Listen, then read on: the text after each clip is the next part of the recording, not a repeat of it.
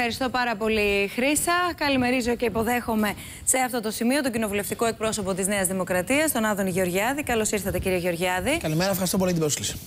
Εμείς ευνηδιαστήκαμε εχθές. Εσείς το γνωρίζατε, όταν λέω εσείς, εννοώ γενικά στη, στη Νέα Δημοκρατία, στη συγκυβέρνηση. Γνωρίζατε ότι θα ζητήσετε ψήφο εμπιστοσύνης. Στο επιτελείο του κυρίου Πρωθυπουργού, ήδη από προχθές, υπήρχαν πάρα πολλές συζητήσεις για το τι πρέπει να κάνουμε για να σταματήσουμε όλη αυτή την εικόνα της εκλογολογίας που ξαφνικά είχε φουντώσει στα μέσα και η οποία εκλογολογία βλάπτει σοβαρά τα συμφέροντα των Ελλήνων πολιτών.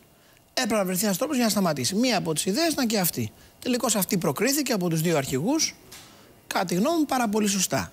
Γιατί με αυτή τη διαδικασία, την κοινοβουλευτική, που είναι η πιο μεγάλη θεσμική κοινοβουλευτική διαδικασία για να σταματήσεις σε τέτοιου είδους συζητήσεις, ναι επαναεπιβεβαιώνεται ή επιβεβαιώνεται η εμπιστοσύνη του σώματος στην κυβέρνηση και βεβαίως για ένα μεγάλο χρονικό διάστημα δεν υπάρχει πλέον περιθώριο για εκλογολογία. και με το δεδομένο, με συγχωρείτε, ότι ξεκαθαρίσαμε και το πότε θα γίνει η συζήτηση για την προεδρική εκλογή, ναι.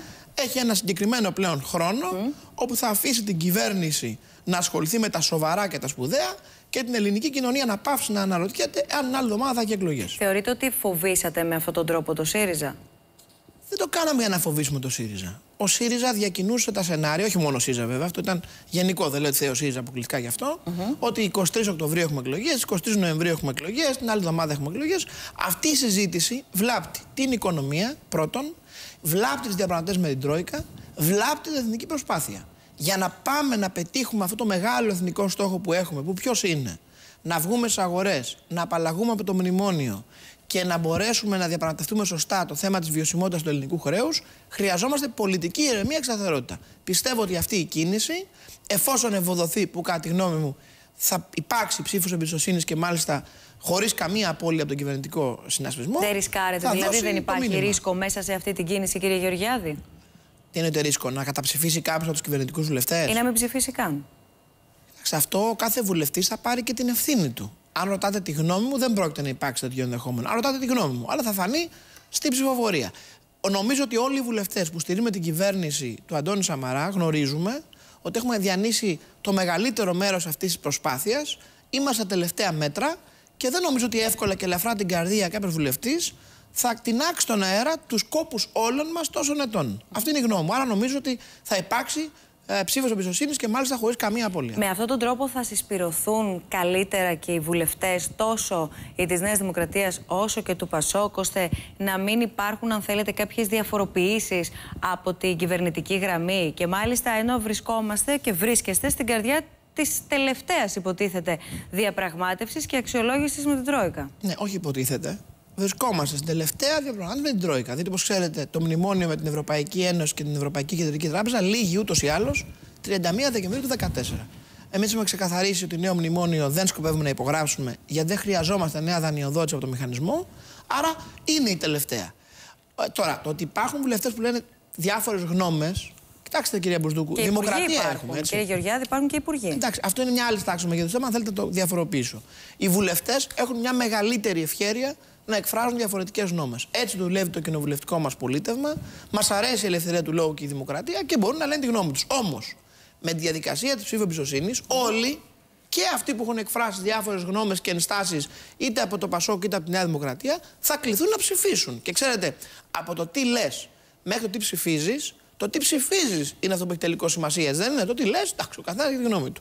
Άρα εκεί την άλλη εβδομάδα θα φανεί και θα καταγραφεί mm -hmm. η θέση ενός εκάστου και άρα θα τελειώσουν οι σχετικές συζητήσεις. Μένω όμως αυτό που λέτε, ότι το τι λες, εντάξει, είναι δημοκρατικό, το θέμα είναι τι θα ψηφίσεις. Επανέρχομαι όμως στο θέμα των Υπουργών και συγκεκριμένα για την αξιολόγηση. Δεν χρειάζεται να κρυβόμαστε πίσω από το δάχτυλό μας και θα σας πω γιατί σας ρωτώ, κύριε Γεωργιάδη, διότι όταν βλέπουμε δύο υπουργούς και μάλιστα από το ίδιο κόμμα και δύο υπουργούς, εν πάση περιπτώσει, της συγκυβέρνησης να έχουν αντίθετη γνώμη και μάλιστα σε υψηλούς τόνους, εκεί αναρωτιέται κανείς και για το κλίμα που δημιουργείται. Διότι δημιουργείται ένα κλίμα πάνω στο οποίο έρχονται ενδεχομένως και πιο σκληροί οι, οι εκπρόσωποι των δανειστών. Δεν υπάρχει καμία αμφιβολία ότι η εικόνα της περασμένης εβδομάδας ήταν μια κακή εικόνα για την κυβέρνηση. Δεν έχω κανένα λόγο να το κρύψω. Ήταν μια κακή εικόνα. Συμβαίνουν και καμιά φορά ε, και λάθη. Δεν λέω ότι μπορούμε να κάνουμε όλα τέλεια.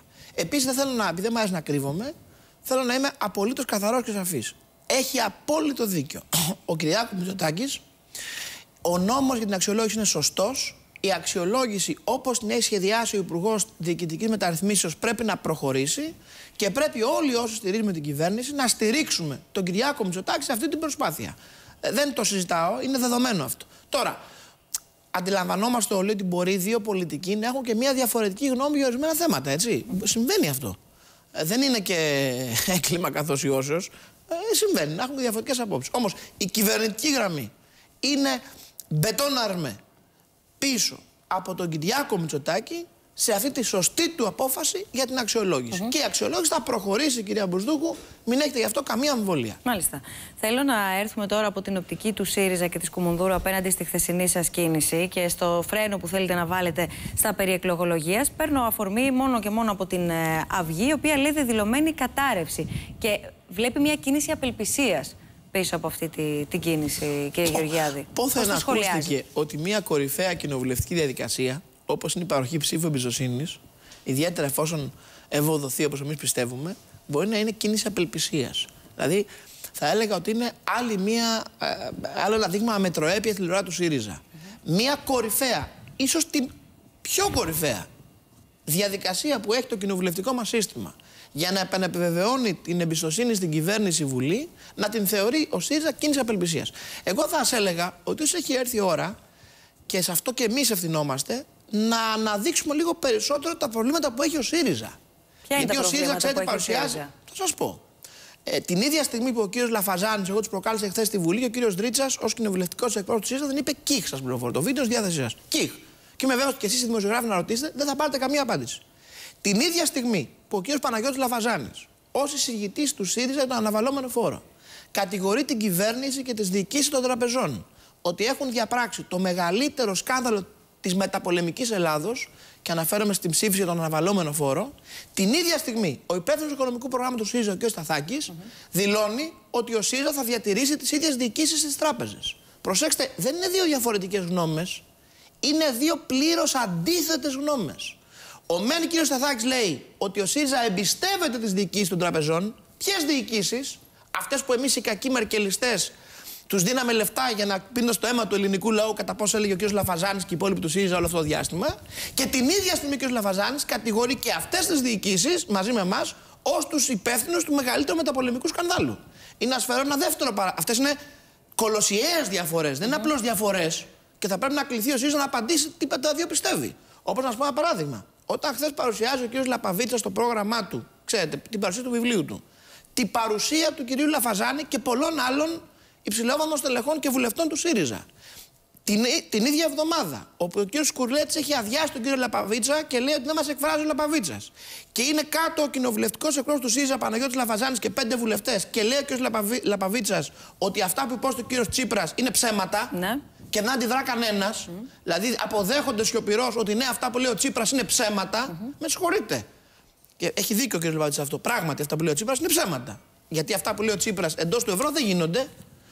Άρα λοιπόν τι γίνεται; Δεν πρέπει να αναδείξουμε στον ελληνικό λαό ότι εδώ υπάρχει μια απίστευτη διγλωσία η οποία μπορεί να θέσει τον τόπο σε μια απίστευτη περιπέτεια. Ή θέλετε να αφήσουμε τον Τζίπρα να κοροϊδεύει τους Έλληνες; Εγώ θα ήθελα πάρα πολύ, επειδή ο κ. Λαφαζάνης έχει δηλώσει δεν βγαίνει μαζί μου στην τηλεόραση, μου έχει κάποιο είδους εμπάργκο, δεν πειράζει, θα το αντέξω. Ναι. Θα ήθελα οι δημοσιογράφοι να το ρωτήσουν. Εάν συμφωνεί με τη δήλωση Σταθάκη περί των διοικήσεων των τραπεζών.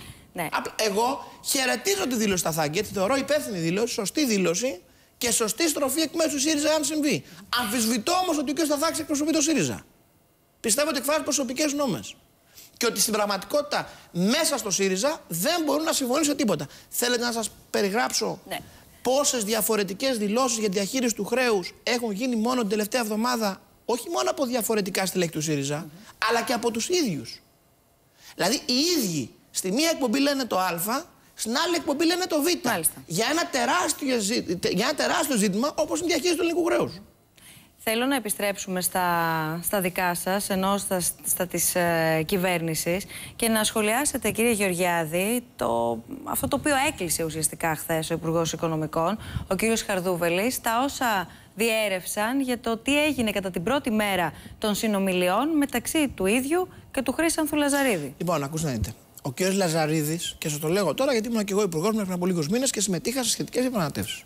Ο κ. Λαζαρίδης είναι ένα από τα πρόσωπα που έχουν οριστεί από τον κύριο Πρωθυπουργό, όπως και ο κ. Παπασταύρου, για να παρακολουθούν την τήρηση του προγράμματος. Και σε πολλές συναντήσεις με την Τρόικα, που είχα υπάρξει και εγώ ως Υπουργός συμμετέχων στις διαπραγματεύσεις, ήταν παρόν και ο κύριος Χρήστος Λαζαρίδης. Δεν είναι κάτι καινούριο. Ο κύριος Λαζαρίδης είναι ο ορισμένος, προσέξτε, όχι από το κόμμα της Νέας Δημοκρατίας, ναι. για να πει κάποιος να υπάρχει και αντίστοιχος του Πασόκ, mm.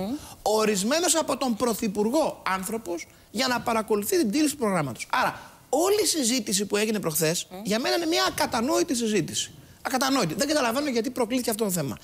Πιστεύω ότι το τελευταίο διάστημα, και το λέω ειλικρινά, ο κύριος Χρήστος Λαζαρίδης έχει μπει στο στόχαστρο κάποιων κέντρων. Και αυτό δεν είναι κάτι που γίνεται πρώτη φορά στην Ελλάδα. Θέλω να υπενθυμίσω ότι όποτε κάποιοι αποφασίζουν να χτυπήσουν έναν πρωθυπουργό, συνήθως στοχοποιούν και χτυπάνε τον πιο στενό του συνεργάτη. Στα διατάφτα όμως, επειδή υπάρχει ανησυχία για όλους τους υπόλοιπους, τους πολίτες, γιατί περιμένουν να δουν τι θα βγει από αυτή την, την ε, τη συνομιλία και την αξιολόγηση και ακούν τώρα. Ξέρετε, και ο κόσμος λίγο χάνεται μέσα σε όλα αυτά, στο ποιος ενοχλήθηκε με ποιον. Υπάρχει δεν πρόβλημα υπάρχει ή έχει θέμα. κλείσει το πρόβλημα; Μα, ε, ακούστε και τη χθεσινή δήλωση του κ. Χαρδούβελη. Δεν υπάρχει κανένα θέμα. Ένας από τους λόγους που έγινε η κίνηση της ψήφου εμπιστοσύνη είναι για να σταματήσουμε τη συνωμοσιολογία. Χθες ακούγαμε. Εκλογές 23 Νοεμβρίου. Θα παραιτηθεί ο Χαρδούβελης. Δεν μιλάω σαν πάνω το Χαρδούβελη. Τον Ιανουάριο τι γίνεται, κύριε Γεωργιάδη; Διότι αν περάσετε το σκόπελο τώρα και κλείσετε την εκλογολογία, μισό λεπτά, γιατί το ένα ναι. συνδέεται με το άλλο. Εάν κλείσετε την εκλογολογία τώρα που ζητάτε ψήφο εμπιστοσύνης, αυτό σας εξασφαλίζει και τη φυσιολογική διαδικασία για προεδρική εκλογή; Η προεδρική εκλογή θα γίνει στην ώρα της. Πότε δηλαδή, εκεί που ορίζει το Σύνταγμα, πότε δηλαδή, το Φεβρουάριο του 2015. Το, το, το άλλο ερώτημα είναι πώς θα γίνει όμως. Θα σας πω όπως ορίζει το Σύνταγμα. Με τις διαδικασίες που ορίζει το Σύνταγμα. Προσέξτε όμως, γιατί εδώ κάνουμε ένα πολύ μεγάλο λάθος στην Ελλάδα. Προσπαθούμε να ανοιχνεύσουμε την απόφαση της Βουλής του Φεβρουαρίου του 2015 με τα γυαλιά του πολιτικού κλίματος του Οκτωβρίου του 2014. Τεράστιο σφάλμα. Γιατί; Γιατί μεταξύ του Οκτωβρίου του 2014 και του Φεβρουαρίου του 2015 μεσολαβούν, έτσι πιστεύουμε εμείς ότι θα μεσολαβήσουν, μία σειρά γεγονότων. Παραδείγματος χάρη. Θα ολοκληρωθεί, πιστεύουμε με επιτυχία, η αξιολόγηση με την Τρόικα. Πρέπει να σας πω ότι οι πρώτες δύο μέρες πηγαίνουν πάρα πολύ καλά. Θα κατευθεί ένας προπολογισμός που για πρώτη φορά θα έχει φορολαφρύνσεις. Θα έχουμε τη συζήτηση για τη διευθέτηση του ελληνικού χρέους. Θα έχουμε την έξοδο στις αγορές. Θα έχουμε την απεμπλοκή από το μνημόνιο. Κύριε Γεωργιάδη, θα σας ρωτήσω ευθέως. Θα έχουμε άλλο πολιτικό κλίμα. Θα σας ρωτήσω ευθέως. Ναι. Αφού ξαναπεράσετε, ξαναλέω, αφού περάσετε τώρα όλη αυτή την φιλολογία, παραφιλολογία, πείτε το πώς θέλετε, εκλογολογία, εν πάση περιπτώσει. Τον Ιανουάριο ξαναμπαίνετε σε ένα κύκλο ανησυχίας. Αυτό ρωτώ το σήμερα. Ένα λεπτό. Όσο πλησιάζει η προεδρική εκλογή, προφανώς σχετικές συζητήσεις θα εξακολουθήσουν να γίνονται. Δεν είμαστε εν κενό, ούτε με ένα κουμπί ρυθμίζουμε τι λένε και τι σκέφτονται οι άνθρωποι. Όμως εδώ με την κίνηση που κάναμε υπάρχει ένα συγκεκριμένο πρόγραμμα. Μέχρι το Φεβρουάριο τέτοια ψηφοφορία δεν πρόκειται να γίνει. Άρα οι σχετικές συζητήσεις είναι φιλολογίες και απλώς χαμένος χρόνος. Εμείς θέλουμε το ενδιάμεσο χρονικό διάστημα μέχρι την προεδρική εκλογή να ασχοληθούμε με τα σοβαρά προβλήματα του τόπου. Και όταν θα φτάσει εκείνη η ώρα, κυρία Μπουσδούκου, και ναι. συγκρατήσετε το βίντεο, η Βουλή θα έχει να αποφασίσει από το εάν την ώρα που η Ελλάδα φεύγει από το μνημόνιο και είναι στις αγορές, κάποιος ρίχνοντας την κυβέρνηση θα την γυρίσει πίσω στο μνημόνιο. Πιστεύω ότι σε αυτήν την πολιτική πραγματικότητα του Φεβρουαρίου του 2015, ναι. η απόφαση της Βουλής θα είναι σταθερότητα και όχι περιπέτεια. Σας ευχαριστώ πάρα πολύ, κύριε Γεωργιάδη. Ο κοινοβουλευτικός εκπρόσωπος της Νέας Δημοκρατίας. Πηγαίνουμε